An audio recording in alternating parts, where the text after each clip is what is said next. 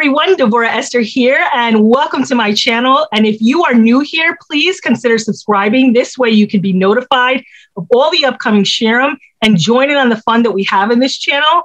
And speaking of fun, I'd like you to join in this mitzvah and share this lecture with someone. And my guest today is a best-selling author, speaker, executive coach who has lectured internationally on topics of Torah thought, Jewish medical ethics, psychology, and leadership. And his best selling book, The Journey to Your Ultimate Self, serves as an inspiring gateway into a deeper Jewish thought. And he's also the founder and CEO of Self Mastery Academy, the transformative online self development course based on principles and high performance in psychology and Torah. I'd like to welcome Rabbi Shmuel Reichman to the show. How are you?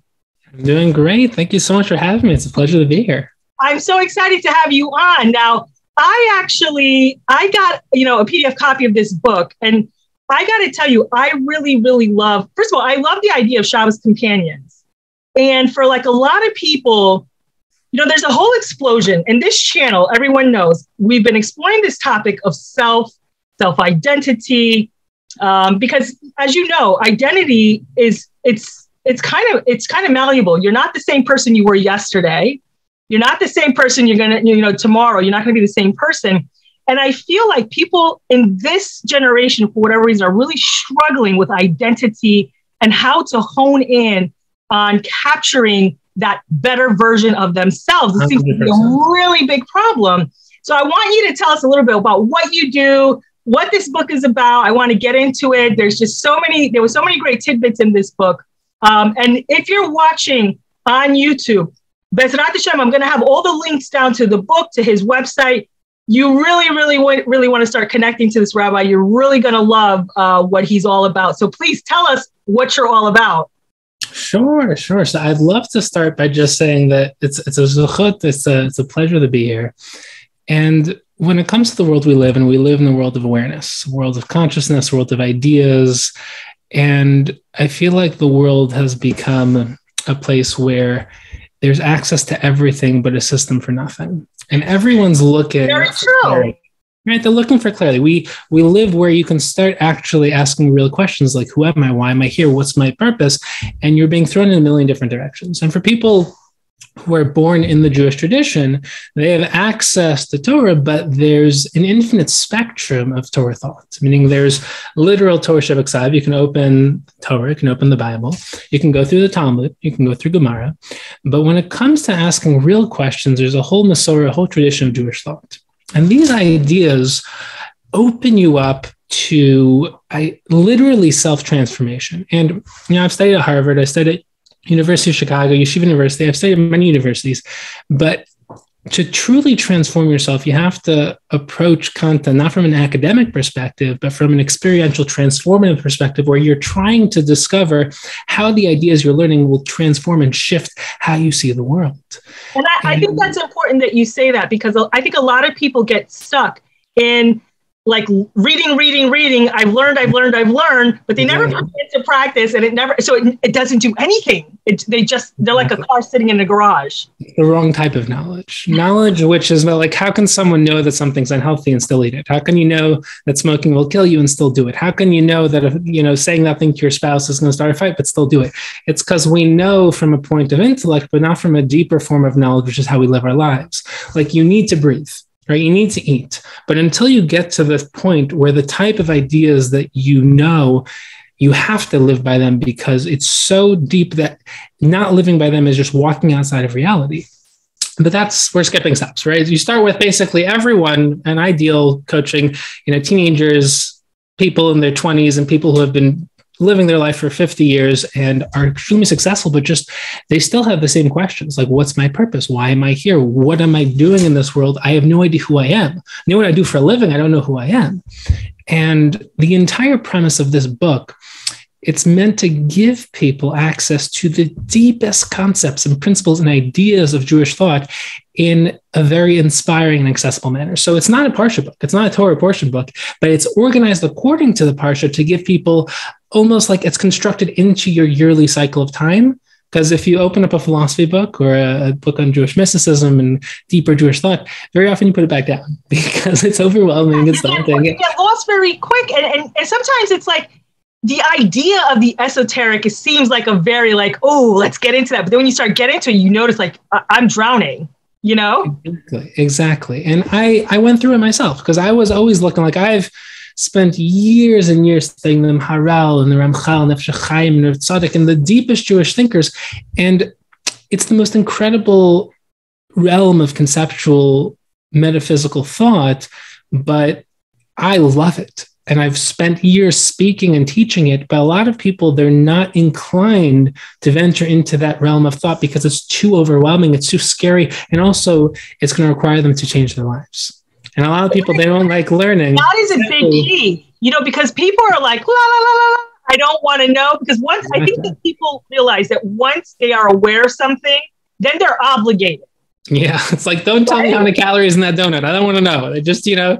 and once you obligate them, there's almost like this anger because they feel like now it's like how can, like you said, how can I smoke knowing what it does to me? And so there's this guilt trip that starts to come up and it's like yeah. a revolving cycle, you know? And, and the first thing is you want to change it from responsibility to opportunity and then from opportunity to responsibility. Because you have to realize number one living a life of truth is living the most extraordinary life ever. I always tell people that the happiest people are people who aren't looking for happiness are looking for meaning. When you start living a purpose oriented life which is responsible right? It means you have to watch what you do what you say what you think. It means you have to start orienting yourself towards a higher form of living but then you start living the most extraordinary life. And when you start giving up on ideals and principles and rules of morality reality and truth, you live a free life, but you're actually lost. And that's actually the, the beauty of Pesach, Passover, we're coming to the holiday of Passover. The classic question is we went from serving Pharaoh, serving Paro, to serving God. So we're still servants. But the most powerful line you can really live by is that only a slave to the truth is free which means that when you commit yourself to the truth, you get the freedom to live a life of truth, to align yourself with a higher form of living. And just taking a step back, the entire book is basically premised on a very powerful passage of Gemara, passage of Talmud. And the, Tal- the, the Talmud basically, it's in tractate in Masechet Nida, the Aflaminum base, 30b. And the Gemara says that when each of us were in the womb, we learned Kula Torah Kula. We learned all of Torah, all of Torah wisdom. And this angel, this Malach, after teaching us all of Torah, hits us on the mouth and makes us forget it. So everyone asks the same question, which is that what's going on? What's the purpose? Right? If you're going to teach us all Torah, that's great. Why make us forget it? And if you're going to make us forget it, why teach it to us in the first place? Right. Well, everyone discusses this and try to figure out what's going on here because it's such a deep. It's it's basically it's the mythology of human evolution that you go through this metamorphosis in the womb and then you lose it. So if this is our origin story, you'd think that you know, it would be a little more inspiring at the end as opposed to just losing it. So the Vilna Gaon shares the most incredible idea. He says that when you're learning Kol Torah Kula, it doesn't mean that you're learning just simple revealed Torah. It means you're learning the metaphysics of existence itself. You're being shown the deepest elements of Torah. You're being shown the purpose of creation, the purpose of the world, but more importantly, you're being shown your unique purpose. You're being shown who you are designed to becoming. Everything in this world, when it's fulfilling its purpose, is doing what it was created to do. And as human beings, we are self aware. So we know that we have this yearning to do what we're supposed to do, but we don't know what it is we're designed to do. So the Vilna Gaon is saying that when you are in the womb, you're being shown what your design, what your blueprint is, what you're supposed to create, learn, what type of, of vision is meant to be actualized in your journey in this world and he says, and this is the most important thing you didn't lose it. You didn't forget it. You lost access to it. And your journey, your entire life journey, is coming into this world and becoming great, but not really becoming great, becoming you. Because greatness is becoming who you are designed to be. That means that you're not trying to be better than anyone else. It means you're not comparing yourself to other people. It means you are going through an eternal journey of self awareness and self exploration and bringing out your natural inborn potential. And that's what learning is. Learning is, it's like when you hear a really deep idea, sometimes you kind of feel like you're recognizing, like it just clicks, like you have this aha moment, this flash, like, wow. Yes. Yes. But why? Right? If you're a blank slate, like John Locke was famous for saying, we're all blank slates, right? There's no metaphysical ideas out there. You never like, you, you're not tapping into truth. You're just being imprinted with knowledge. So then why do things click? Why do you have these aha moments? Why do you feel like you've learned this already or like you're recognizing something that you already it's like deja vu. It's like deja vu exactly, always, exactly. and that's actually why the Vilna Gaon says that sometimes you have deja vu because when you dream, your soul leaves the physical world. You're going back to that dimension and you're tapping into things beyond time. You come into this world, you have this feeling that somehow you experience things that already happened because you already somehow did, because you're tapped into a dimension beyond time and space, which is a really cool idea as well. But the idea here is that you know there's the, the Platonic principle of ideas is that there are metaphysical truths in the ether, like in the, the meta universe. And when you learn, you're actually tapping into something that's objectively true. So we're not going to get into how that relates to, to deeper Jewish thought because it's related, it's different, but it's related. But the concept is that you're literally, when you're learning, you're tapping into an aspect of yourself that's already there.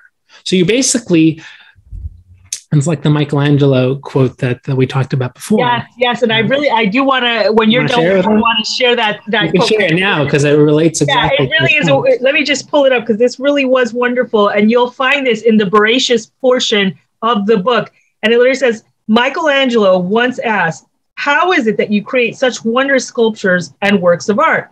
How can something so innovative and ingenious emanate from mere mortal hands?" Without skipping a beat, Michelangelo responded, Before I even began my work, the sculpture is already complete within the marble block. My job is simply to discover it and then chisel away the superfluous material. The dormant potential already exists beneath the surface. The job of the artist is simply to discover that which is hidden within, then transforms the concealed into the revealed. And I thought that was you know, I mean, did, I think Hashem put that in his mouth because that was just like.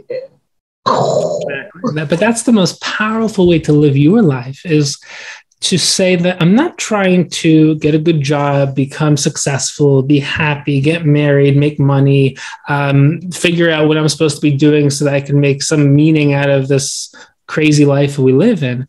I'm trying to figure out who I am and not to create my personality, but to reveal it and not you know, I had an interview with uh, another rabbi, um, and it was called Ani Alami. He was he was yeah. part of Olami, the, the organization. Yeah, of course. And, and I said, I literally said, you know, my journey has always been transforming three words: who am I into who I am. Mm. And it's always mm. this constant of, you know, you have this question about where you're holding in life and I always feel like at that moment, it's my job to discover this is the answer. This is who I am. And I think that a lot of people, they go through this.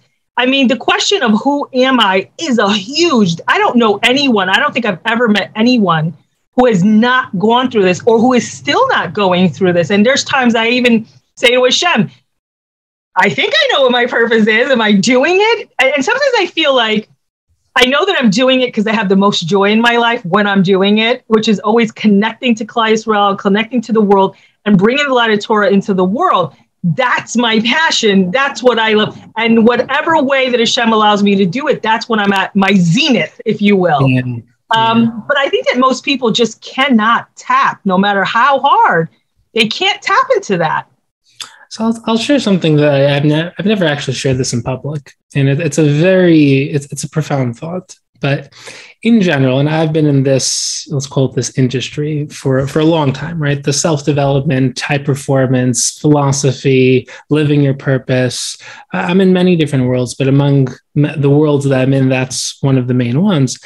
And it's almost always the same breakdown where you have people who are sharing on the platform or on you know in the book or in public you know living your purpose living your passion it always kind of turns into the people who are living their purpose are the ones who are inspiring others to live their purpose. And everyone else is confused saying how can i live my purpose? And it's almost like this breakdown of you know the simple people living their normal jobs and the people who are inspiring others to live their purpose who are living their purpose as inspiring you to live their purpose. And it seems a little strange that the only people living their purpose are the ones that are telling you to live your purpose because is that that the only way to live your purpose is to inspire us to live your purpose. So I, w- I will say on two fronts. Number one, living your purpose is just being self-aware and actualizing all of your inborn talents and discovering which skills you can add to what is, so to speak, naturally gifted to you so that you can contribute to the world in the most meaningful way based on your ongoing pursuit of truth and contributing towards the, you know, as the Jewish people towards the Jewish people and helping everyone in the Jewish world grow and thrive and blossom and as the world as a whole to really contribute your talents to the world not being on the front lines not being a public speaker not being the one who seems to be the passionate inspired one telling you to be inspired and passionate because then it's just a very strange catch 22 where to live your purpose means to inspire others to live your purpose, but then that means everyone not doing that is not living their purpose. And that's a very strange way to live your purpose to help others live their purpose. So that's part of it. It's it's one also a lot of people who are the speakers, the writers, the educators, the ones who are on the front lines, they discovered their love and passion for educating and helping and teaching when they were young. And they devoted their life to that. And they started, the ones who you are seeing are the ones who are usually the, success, the successful ones. But as an executive and high performance coach, one of the things I do is I take people who are already doing good and I help them become great. Because you know i'm i'm pretty young and i never ever ever stop pushing and never stop questioning and realigning because when you think you've discovered your purpose and you live the rest of your life thoughtlessly living that purpose, you're not living your purpose. You're living out the purpose that you designed and discovered when you were inspired at a certain stage in your life to ask yourself, what's your purpose? But your purpose is endlessly evolving because you should be endlessly evolving, which means that your impact and your learning schedule and your work ethic and your philosophy and your ideals and what you think you're capable of and what you expect of yourself should always be expanding. And I've seen so many world leaders leaders, world class leaders, people who are doing incredible things, they just stopped asking more of themselves. They just stayed doing what other people consider to be great, even though on their own standard it's easy now. Like they're not really pushing. And when you start building muscle, you have to rip apart the muscle. But if there's no resistance anymore and you're lifting the weights easily, means that you're no longer lifting weights, right? You're not exercising, you're maintaining. Right. And the goal of life is not to maintain. So, one of the biggest problems I've seen is that we think it's about great leaders and everyone else, but great leaders are still just people. And they might be great leaders to everyone who's looking up to them, but for themselves, between them and Hashem, them and God, they're still just at a very primitive stage of their own story. And the, the analogy I like to use is that life is like walking blindfolded on the edge of a cliff. And when you're walking blindfolded on the edge of a cliff, you walk very slowly, but you continue to push forward, right? Because let's say your goal is to move forward. Let's assume that's the premise. So this is a very interesting cliff because what happens is that in life, let's say you're pushing, right? You're saying, what am I capable of? So you start inching towards the edge of the cliff and you're you're learning, you're feeding your mind, you're feeding your emotional health, you're working out, you're exercising, you're building great relationships, you're devoting your life to improving your career, and you're improving your relationship with Hashem, and you're you're growing, and that's you you pushing to see what you're capable of. You're pushing to the edge of the cliff. But then you might get to the edge of the cliff, your toes might get to the edge, and you're like, whoa, this is it. This is the edge. So you push back a tiny bit. You don't want to fall off right? And then you basically say, This is where I am. This is who I am. This is my mission. This is my purpose. You start growing.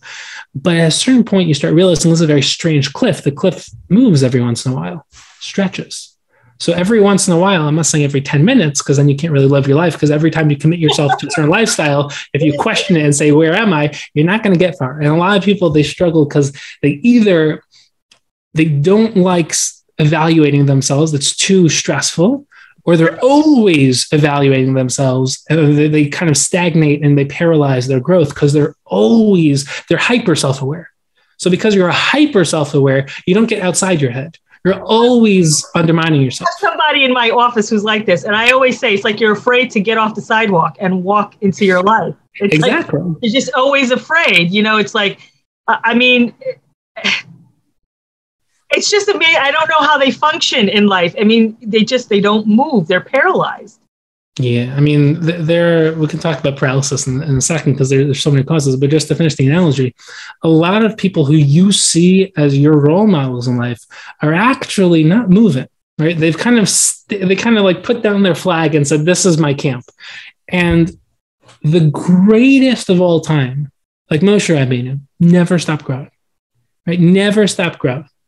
Is someone like after you receive the Torah, someone you know questions him and he goes back and, and questions whether or not that person who questioned him maybe he has an aspect of truth in that. It's someone who's always reflecting, always trying to grow, but the the beauty and the balance of life is building balance in life, which is when you can say, I want to always, always be striving, and yet I'm going to be willing to take steps back. That's really what Shabbos is all about. Shabbos is it's a cessation of the growth process. Right? On Shabbos, it's really about stopping physical activity. So we don't do malacha, but malacha isn't just physical activity. It comes from the shorsh of malach, which is a creative emanation from Hashem. An angel is a creative emanation from Hashem. Malacha is creative activity. So all the malachos that Hashem used to create the world, that we used to create the Mishkan, we don't do that on Shabbos. Why? Because Shabbos is about stopping the process. Why the Gemara in Brachos, uh, Masechta talks about blessings. Gemara in Brachos, Daf Nun Zayin, says that Shabbos is Me'in Olam Haba. It's a taste of the world to come. Why? Because in the world to come, you stop the ability to create yourself and you experience everything you built. You experience the person, the shama, the consciousness, the self that you crafted and built. On Shabbos, you stop to a certain extent your activity in the world and you get to experience who you are. It's a reflective, powerful, powerful time of, of your life if you take advantage of it. But it's also an ability to recalibrate and say, okay, this is this is what I've accomplished this past week. This is also what I've accomplished so far in my life. This is what I'm going to do this week. This is what I'm going to shift a little bit. This is how I'm going to take my life to the next level. And then you turn your life into a story, into a project, which is amazing. But there are people who get paralyzed by fear. Fear of failure. What if I try and I don't succeed? Fear of what other people will think of them. What if That's I start you. raising my values and my family, my friends, my teachers? What if they don't understand? What if they, so many times, I, I can't tell you what what changed my life and what changes people's lives when they start realizing that no one's ever going to understand your dreams. No one, That's no one will ever. And the reason why because they weren't given to them. They were given to you. Hashem gave you your dreams. So if you're telling someone who's devoted their entire life to becoming a math teacher that I want to become an artist, they're going to be like, no, no, no, no, you, should, you shouldn't do that. That's like, because they don't understand what it means to have your dream. And just take the analogy in anything in life. If you're trying to, that's why I always say be very careful who you share your dreams with. Because if you share with the wrong person at the wrong stage, they'll crush it and they'll crush you and you'll give up on them right? A lot of critical, practical, rational oriented people, they don't understand the idea of getting outside your comfort zone and taking the calculated risk of striving, even though you're not destined to automatically succeed. Someone who has never taken any risk in life, always worked with what they're good at and always taken the safe path, they're not happy and they don't want other people to do it. So if they're your parent or they're your spouse or they're your friend, they will not let you take that path, or at least they'll advise you not to simply because they don't understand it and they're not conscious of the fact that they might also not want you to succeed. Because if you think, succeed, I think what you just said, I think there's going to be a lot of people that that just like that statement right there just really blew them because you're exactly right. And I think that people get caught up on what other people's opinion of them.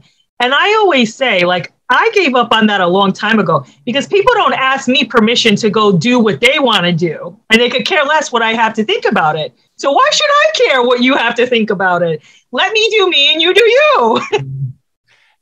a lot of people they get their self-worth or at least they think they get their self-worth from what other people think of them so there's this circular philosophy that people have which is that i don't know who i am i don't really like myself but i want other people to like me and the reason I want other people to like me is because I woke up to this world not knowing what to do. Like, what is it? Like, what's the, like, no, there's no real, um, like instruction manual for, I mean, there is the Torah, but not many people know I the same thing. We so, did that manual. so, so people kind of don't really know what the instruction manual is to happiness or to living a great life. So they look at other people and they're like, uh, maybe someone else has an idea what's going on. So they then say, if I align myself with other people enough and I get enough external validation and people say, yes, what you're doing, that's good. That, that's that's correct. That's right. And I do that enough that everything I eat, everything I talk about, everything I think about, how I dress, how I live my life reflects other people's what they're expecting or wanting of me. then I'm hoping that I'll be happy, right? Because if they like me, I'll like me. If they approve of me, I'll approve of me. And what happens is that those people are as fake as can be, not because they want to be, because they, they were never taught differently. And they don't have an original thought for the life of them because they've never learned how to think. They don't have an opinion because they've never really sat down and tried to build themselves, devoting themselves towards discovering who they are and finding their unique purpose in life. So, how they can contribute something significant and meaningful to the lives of others. And it's one of those things where the paradox at the center of this is that no one likes people who are fake. Right? No one likes people who aren't genuine. So, in the hopes of having people like us, we stop trying to discover who we are and we become who we think they think, who what we think they think is important or what we think they want us to be. We don't end up becoming our true selves. We end up becoming a, a, a mirror, but really not a mirror, but more of a shadow of someone else and then we live our lives in regret and we don't like ourselves they don't like us and we just end up hopeless. So if you end up at the off, end of your life wishing you would have done it all differently. Exactly. And, and one of the like we talked a little bit before before this uh, this conversation, we talked a little about having a near death experience and Correct. how that can be life changing. Correct. So what I what I did at an earlier stage of my life is I started sharing my near death experience. I'm not going to go into it now; it's, it's, a whole story. But when I was younger, I basically had a, a three four month period of my life where I was losing consciousness every single day, and every single time I had to fight to come back. When you pass out, you wake up, but this was different. I had to fight to come back to consciousness, and every single day I thought I was going to die every single day. This was happening on a weekly basis for months. And I, I really thought I was going to die. And I just cry out to Hashem and say, why is this happening to me? Like, why? I'm not trying to kill anybody. I'm I'm a bad person. I'm just trying to live my life. Why are you doing this to me? Right. But I also was given the gift of waking up and saying, I don't know how much longer I'm going to be in this world. I might as well take advantage of whatever time I do have left. And that's really the start of my story. I started seeking out mentors and teachers. I started reading everything I can get my hands. I started learning, seeking out the greatest rebbeim.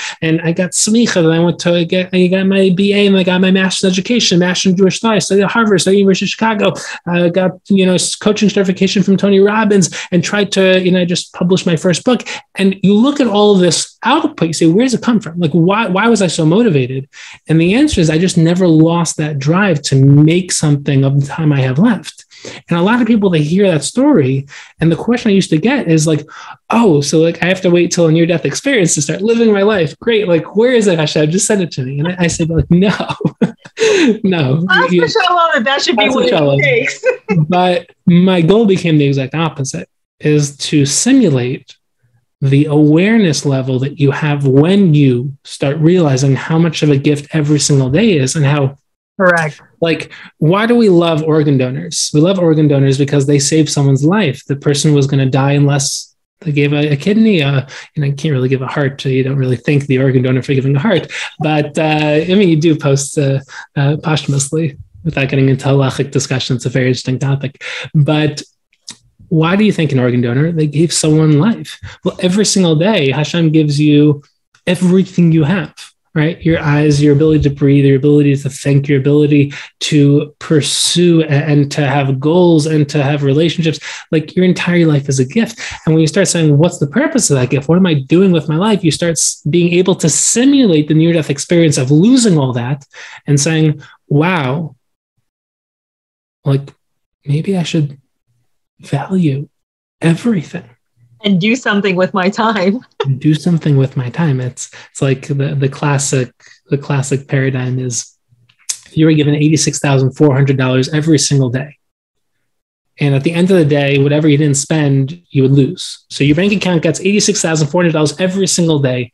How much would you spend of that? And well, I'll tell you, my husband will tell you all of it in ten minutes flat. okay, so 10 minutes flat, they get well, 24 I have hours. no problem with that but you're right. You know, and, and I and I and I sent you a, a, video, and and it was called the Last Gilgul, and and it was mm-hmm. almost after this last, you know, this near death. Because it's true. What would you do? How would you live your life differently today if you knew there was not going to be a tomorrow? And if you are on a spiritual level and you know the the the idea of the Gilgul and all that, what if you knew that there was not going to be another Gilgul? This is it. This is your last chance to get it right. What would you do differently? Exactly. And, and the end of that analogy is that every single day you're given 86,400 seconds. Right? That's how many seconds are in 24 hours. And whatever you don't spend, you don't get back. So if you'd spend all $86,400 if you were given that every single day, how much more so time, which is infinitely valuable. And it's also that that's one of the, the greatest conflicts of life is that you have two, by the way, all all thought, if you want to live a thought out life, a balanced life, a really passionate, driven life, you have to learn how to balance contradictory principles. So a lot of people they don't like contradiction. So they either ignore the contradiction or they try to ignore one of the contradictory principles. So if you want to live a great life, it's about balancing and creating synergy, synthesizing contradicting principles. That's the in Deeper Jerusalem, it's Chesed and where you learn how to create something beautiful out of what seems to be conflict. So shalom is not the lack of conflict. Shalom means peace. Shalom is not the lack of conflict, it's creating something extraordinary out of conflict. So when you have one principle that says, live your life as if there's no tomorrow. Live your life as if today is the last day, as if every day is a gift, and you don't know if Hashem's going to give you today. That's it. Not even today, right now. And then you have another principle which says, make your life meaningful, create long term goals, have a vision, have a destination, d- commit oh, to learning all of the time. We see these contradictions, right? So, what in the world is someone supposed to take with those two principles? So I, I always hear people saying it's all about living in the moment. Then I hear people who are it's all about having long term goals, having a clear destination, creating focus. If you don't know where you're going in life, you're not going to go anywhere. Unless you know what your destination is, unless you have clear goals, you can't accomplish anything. So, which is it? And the answer is that you have to have both. Meaning what? Meaning that number one, create a clear path. Number two, live fully in the present, heading towards that path.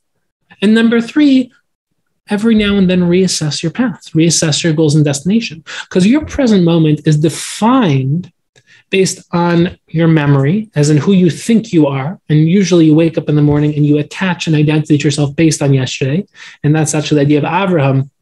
Abraham, we know that Abraham says, Anochi Afer Ve'efer. I am but dust and ashes. So the classic translation of Afer Ve'efer is I am dust and ashes, and we think of it as being humble. Abraham was being humble. But the deeper translation of this idea is that Ve'efer also means what, what's what, what's what's ash? Ash is to break something into its elemental form. Right? When you ash something, you break it down into its literal elemental components. And dirt is where you plant something anew. So Avram saying, Afer Ve'efer, I constantly break myself down and replant myself anew.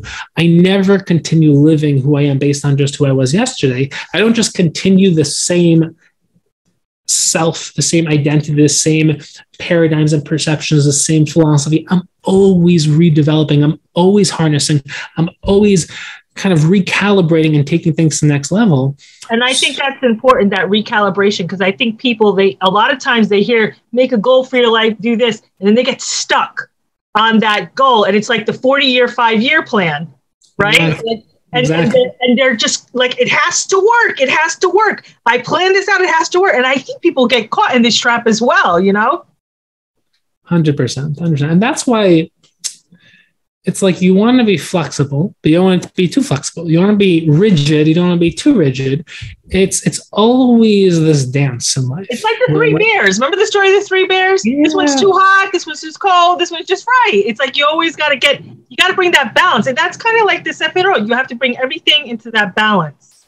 You know, you can't go too much to Gevura. You can't get too much to Chesed. You have to go right into the middle of it. You know, it's and it's a, it's like you said, it's a dance. 100%. And I think one of the mistakes people do make is I think that balance means middle. Balance does not mean middle, balance means balance. So it could be that for some people or at certain stages in your life, you need to be very much towards one side of the spectrum. But as long as you're on the spectrum, it's like, why is the world so why is there so much animosity towards other people's perspectives right we live in a world of a lot of like animosity and conflict and argument. And if you have an opinion different than mine, you're evil. Or, or you're you're really, really you make me angry. Like, why does that make you angry? It's because we live in a world where there's one answer to every question. It's the answer, and there's no other answer. And as long as you think you have the answer, if another person has an answer, then they're undermining your truth.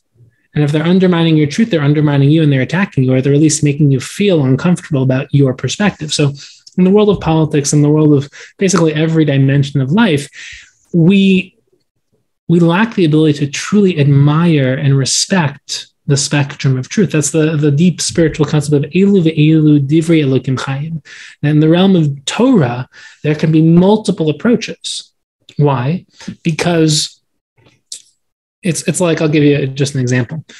Uh, kid comes to his father and he says, you know, David punched me in the face. So David punched me in the face. Goes over, David, David, you punched Chaim in the face. You punched my son in the face. And so David says, Yeah, because Chaim pushed me down the stairs. Chaim, you pushed David down the stairs? And he says, Yeah, because he tripped me. You tripped him, yeah, because you called him, you, you, he called me a name. So all of a sudden you're like, okay, what is like? I thought that this kid, you know, beat up my right, son, right, right. but I only had a small piece. And the question is, who's who's right? Are they both right, or neither of them right? The answer is that they make up parts of the fuller story. And a lot of people in this world, without getting into the metaphysics of like a higher dimension and express dimension, but when you take white light and you put it through a prism, it gets you get the full spectrum of the rainbow. Right? So if someone were to say that white light is orange, are they are they right? What about the other person says that white light is blue? Is that person right? The answer is that they're both right and they're both wrong because they only have a piece of the fuller picture. Yeah. When you start to instead of like it's when you learn any sugi in Torah, any topic in Torah thought, you're always going to have different opinions. Different poskim, different Jewish authorities will have an approach. Now, which one's right? So we have this principle, Elu ve'elu divrei Elokim chaim. They're all right. How are they all right? Because the way that truth works in the physical world is that it's that white light expressed through the prism where there's multiple colors. They are all aspects of the truth, but the actual truth is greater than any of the sum of their parts, and it's greater than any of those individual shards of truth. So when you have when you have a really important debate over really important issues and you have two opposing sides Number one, usually will have, you know, more than just two simple approaches. You usually have three, four, five possible approaches. Number two is that they usually all reflect some important principle, but they don't contain the whole truth. And what each of these sides will do is they'll pretend to be the whole truth. And they'll say, We are the only truth. And the other person will say, We're the only truth. The actual greatest truth would be taking the best of both of them. But in a world of simplicity and kind of trying to create extreme, you know, simple truths, those two sides won't create something harmonious where they come together and create something greater. They'll create actually more friction and they'll isolate themselves and they'll say, You're evil, you're wrong, you're a lie. And you see this in politics, you see this in relationships. I was going to say, can we get you out on the world stage right now? Because America's really like burning to the core over these kind of issues right now. You know, this, this, this is what we're seeing right now is really just a reflection of human history. This is the, you know, philosopher kings, the concept of having someone who's brilliant in power. The reason why it doesn't work is because brilliance is not viral. Brilliance is difficult. It takes patience, it takes commitment to working through the nuance. And the people who you choose as your leaders are the people who are, you know, full of passion and excitement and will say the things that you already want to hear. There's a deep Jewish principle that leaders don't lead the people, they lead the people towards the truth. And in the world of democracy, the leader is nothing other than a reflection or puppet of the people, right? The people vote. But in the world of truth, a leader reflects something higher than himself or herself, reflects Hashem, and leads the people towards Hashem. So it's a very different brand, a very different model of leadership. And in the world of modern politics is very difficult because the whole party system is based off of taking certain values, certain principles of truth, and isolating them as the only truth. So liberal and conservative principles make the spectrum of truth, people who try to conserve traditional ideas, people who are always trying to push boundaries and create novel, new um, you know, staying with the times and trying to take things to the next level, pushing past boundaries, breaking down old walls. When you can balance and harmonize those two, you get something incredible. But it also requires a commitment towards nuance, towards qualifying very simple things. And it's not, and it's not yet. I mean, that's you know, hopefully the, the Zman of Mashiach, that's the whole purpose, is revealing truth to the world. But until then, you have people heading towards it. So the world's definitely becoming more enlightened. Torah is becoming much more viral. Uh, deeper ideas. If you, you know, even even the podcast world and the non-Jewish world, people say like, "Oh, everyone's getting dumb. Everyone has no patience. Needs sixty-second bursts of fluffy inspiration. That's all people can handle anymore." It's not true. People listen to two, three hour conversations of highly intellectual, sophisticated, brilliant discussions of analytical and, and post rational minds where you have you know the greatest thinkers in the non-jewish world sitting down and talking in dialogue with each other.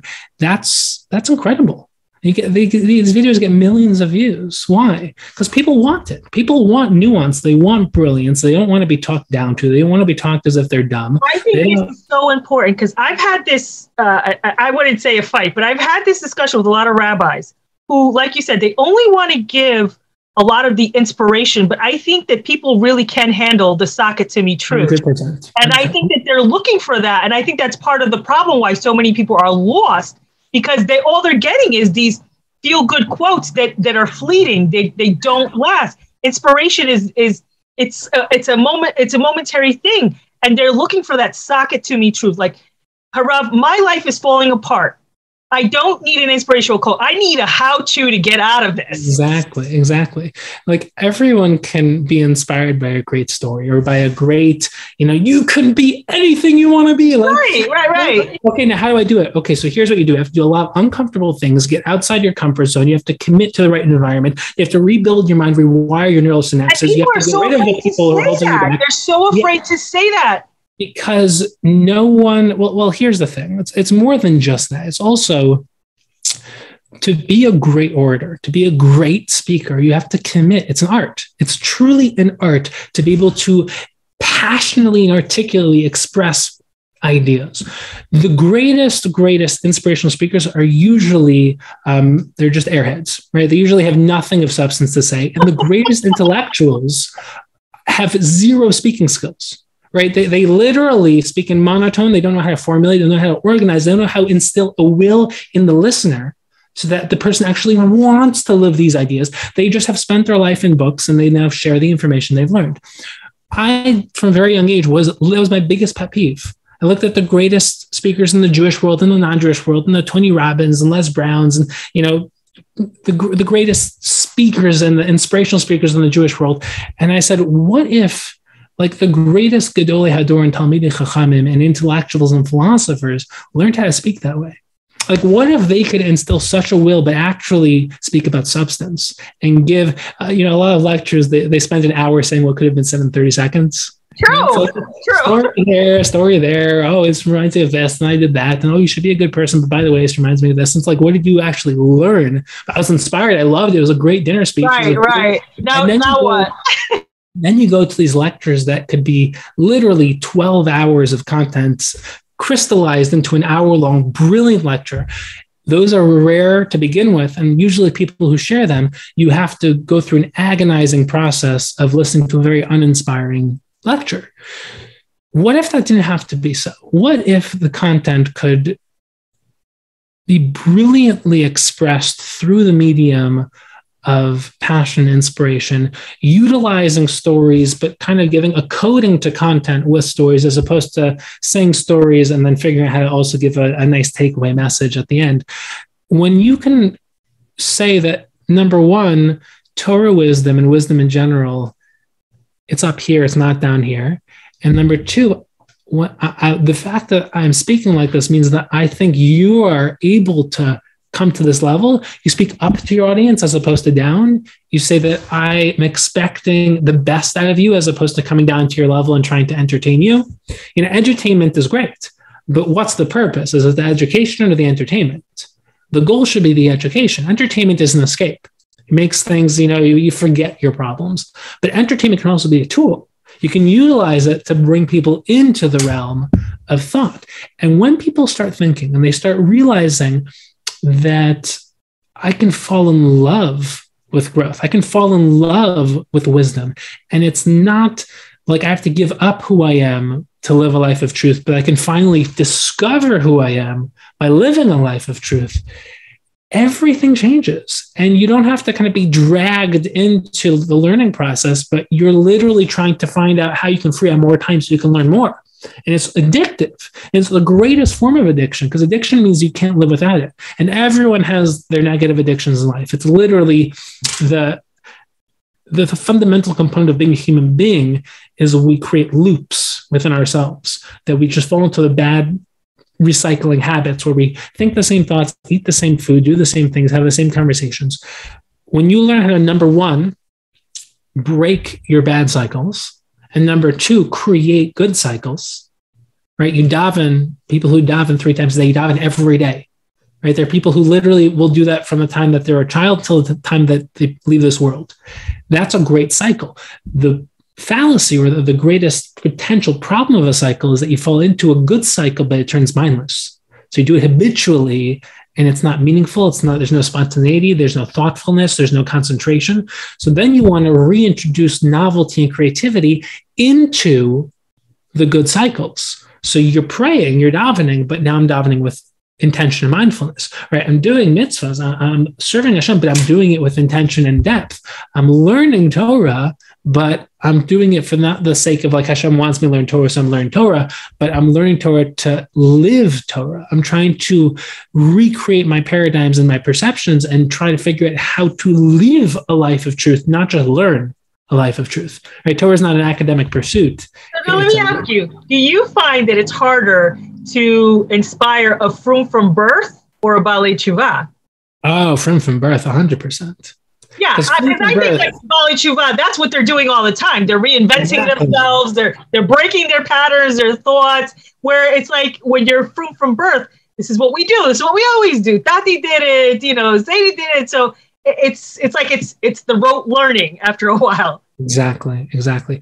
People who are frum from birth, the greatest tragedy of being frum from birth is that from a very young age, you think you know. And when you think you know, you can't learn because learning requires the understanding that you don't yet understand, the knowledge that you don't know. It means that there is the destination and you're here, right? Meaning the destination, let's put it off screen. You don't even know where the destination is, right? It's off the screen. You're you're searching for it, but you're not there yet. Frum from birth, it's like this is destination, this is me, right? Balei Tshuva, they, they wake up, they wake up in life, and they're like, I want to learn. I want to know. I want to grow. I want to ask every question. I don't know anything. I literally the, the respect that they have for for Rebbe and for for their teachers is incredible because they literally think that their teachers are opening up their mind and taking them towards the truth. For people who are from from birth, a lot of them they don't think of Torah as the purpose of Torah is to completely transform the way you see the world, yourself, Hashem, the Jewish people, meaning, life, everything. And it's an endless pursuit towards that. They think that learning Torah is something Hashem wants you to do, and you just do it to be Mekayim, check, you know, check the learning Torah box and go back to your day, make money. Right, chakras, check, right? Exactly. So when you can, one of the things that I, you know, first of all, Balei Tshuva, the idea of teshuva is return, right? Teshuva means shuv, return. And a lot of the Balei Machshava say that the idea of teshuva is returning to what? Returning to, like I just mentioned earlier, that Gemara Nida, to your fetal self, yourself from the womb, who was at that ideal stage. Meaning, you're we're all returning to who we spoke, who we're supposed to be. Balei Tshuva, they just woke up in the middle of their lives and started that journey. But people who are from from birth, they never realized that that's what the journey was supposed to be. So I think we're all Balei Tshuva. We're all returning to who we're supposed to be. The only question is, are you aware of that? And then once you are, well, one of my underlying goals is to completely change the way that people who are from from birth approach Torah.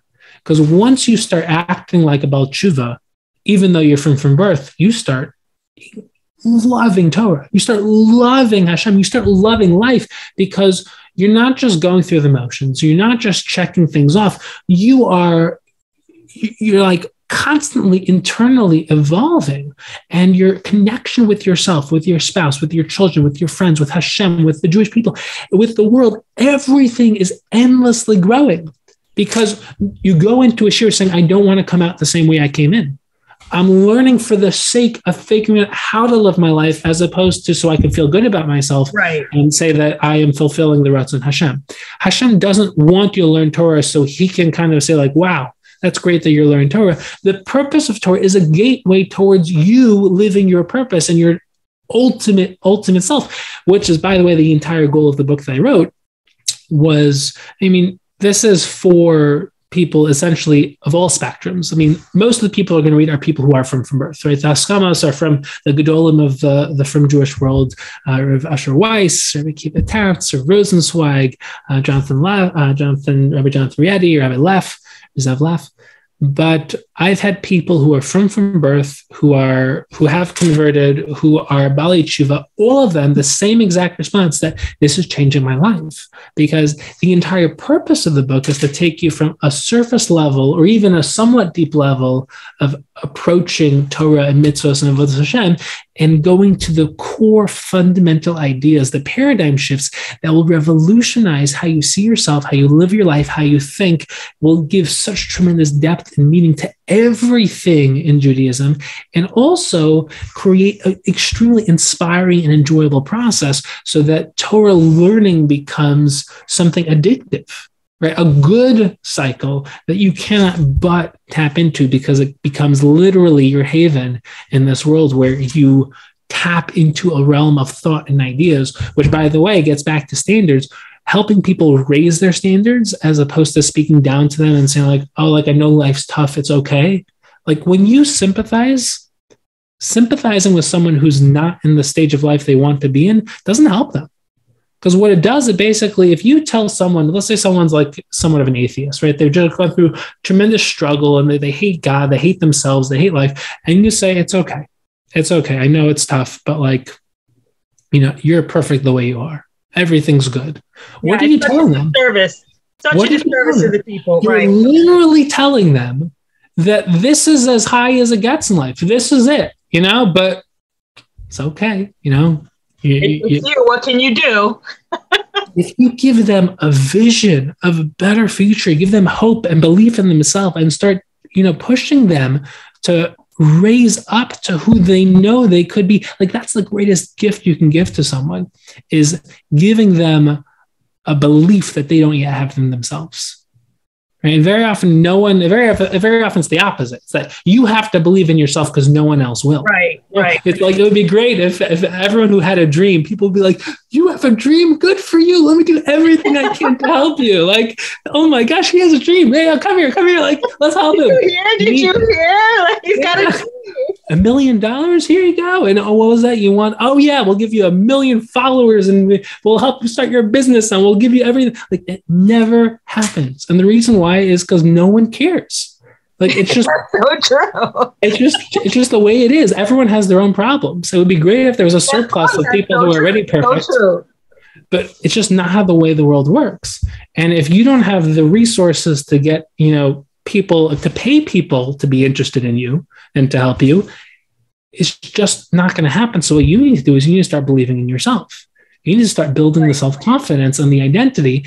And for everyone who has achieved an element of their dream yes there is something called chesed, which is doing something kind and helping someone who's not yet, you know, look at people. That's the greatest people in the world are the people who have overcome challenges and struggles and look for people who are going through the same struggles they once went through because they relate, true. they understand, and they devote and their they life, or at least their, their extra time and money to helping them because they know what it feels like. That is so true. That is so true. I'm telling you, I feel like I have to have you on multiple times. I think you just socked it too, like my audience with all the nuggets that like I'm always trying to like hit. There were so many good things in this interview. I mean, and that that last, you know, that last tidbit that you gave, I think, you know, I think too, I want a lot of people in my audience to know because a lot of them are Bali Tshuva. And a lot of them are saying, you know, I think a lot of them feel like they were set up for failure by Hashem. Hospital, they should feel this way. We're Bali Tshuva. We didn't grow up with all these resources And I'm so glad that you brought out like the difficulties that the frum from birth have and what the advantage is that they have over the frum from birth.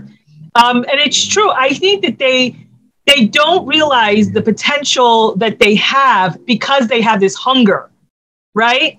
It's like I always say, listen, we need each other. We need the frum from birth, and they need us. We come with the fire and the passion, and they come with the how to do it, how to put that fire in. And it, it, I'm telling you, like there's just been nonstop like sock it to me goodness in this interview. I really feel like I have to have you back on. It's just been like I don't even know where to like start. My my tichel's ready to like you know.